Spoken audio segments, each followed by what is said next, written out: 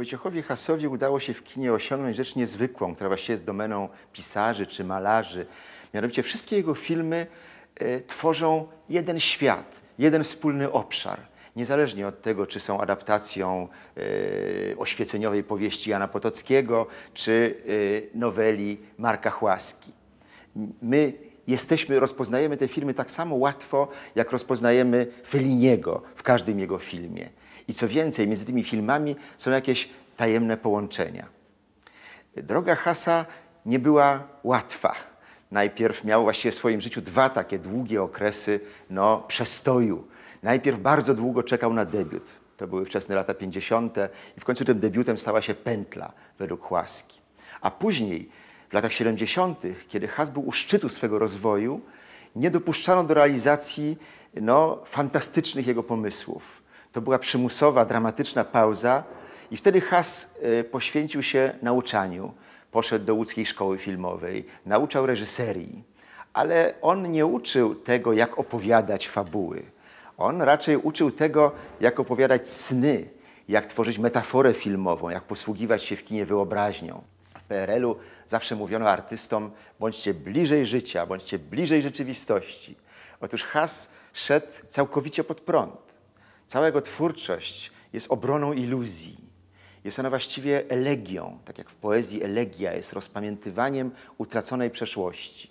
E, kino Hasa jest właściwie jedną wielką reminiscencją jakiejś przeszłości, do której się odwołujemy, którą usiłujemy uchwycić e, na nowo.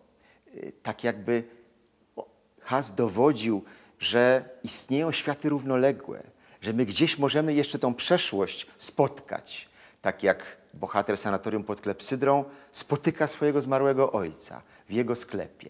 Ten sklep wciąż gdzieś istnieje, na tyle, na ile można. E, bardzo to było ekstrawagancki, ekstrawagancki program artystyczny, jak na PRL-owską kinematografię, ale trzeba przyznać Hasowi, że był artystą niezwykle upartym i konsekwentnym. Jeżeli nawet nie wszystkie plany zrealizował, to te, które zrealizował, zrobił dokładnie tak, jak chciał. Podobno Gomułka mówił w latach 60., że reżyserzy powinni robić filmy dla nas, czyli dla partii, ale trzeba czterem czy pięciu pozwolić robić to, co chcą, żeby nas reprezentowali przed światem. No i Has miał szczęście zaliczać się do tej piątki. I miał swoją wierną widownię, do której i ja e, zaliczałem się, począwszy już od swoich lat studenckich. Pamiętam, jak szukałem jego filmów po małych kinach, żeby obejrzeć je po raz któryś. E, było coś w kinie Hasa, co bardzo odpowiadało mnie, młodemu wówczas człowiekowi. Co właściwie? Poszukiwanie przeszłości, melancholia?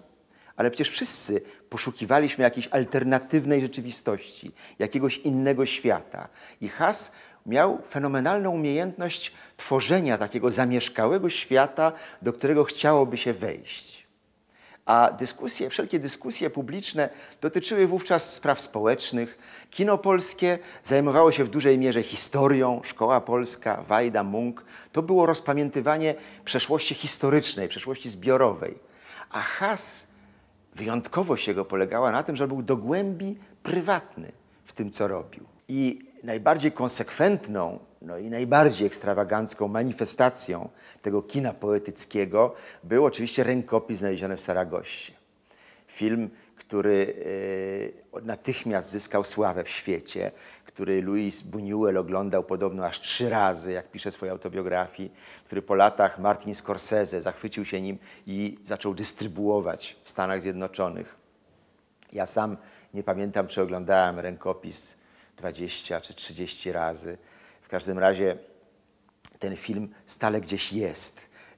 Stale towarzyszy mi muzyka, prześliczna muzyka Krzysztofa Pendereckiego, e, muzyka, która towarzyszy opowieści naczelnika Cyganów o jego madryckich przygodach. Bardzo trudno było, było powiedzieć komuś, kto ani nie zna powieści Jana Potockiego, która należy do światowej klasyki, y, fantastyki, e, ani nie zna filmu, Y, o czym on jest, ponieważ nic, y, co się tam zdarza, a zdarza się bardzo wiele, nic nie zdarza się naprawdę. Te zdarzenia piętrzą się, stoją na drodze Alfonsa van Wordena, kapitana Gwardii Walońskiej, który w XVIII-wiecznej Hiszpanii z jakąś misją polityczną jedzie przez góry Sierra Morena. I tam spotykają go dziwne zdarzenia, które są właściwie próbą, które mają go naprowadzić na myśl, że fikcja jest ważniejsza od rzeczywistości. On spotyka dwie maurytańskie księżniczki, które są wysłanniczkami takiego no, zakonspirowanego, podziemnego rodu Gomelezów.